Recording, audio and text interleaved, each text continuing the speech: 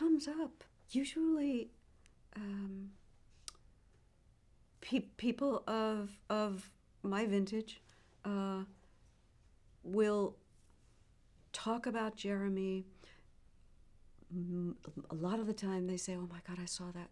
I saw that with my girlfriend, and it was our first date, and it meant everything. It said it, it helped us relate. It was so um, exactly what we were kind of living at that time.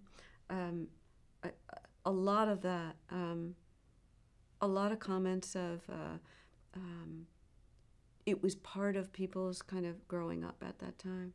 Um, people a little bit younger than me, people a little bit older than me, like within kind of a six year, 10 year radius. It's surprising how many people remember this film. Um, and it's always so heartwarming because when they talk to me about it, it's as if we went to school together.